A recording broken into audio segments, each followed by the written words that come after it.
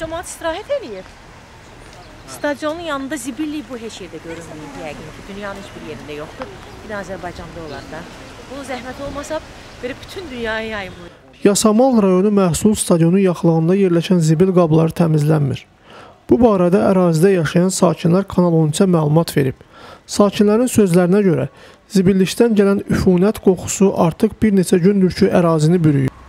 Bu zibillikdən narahat olursunuzmu? Yoxsa belə də olmalıdır sizcə? Valla narahat olmalı olar da.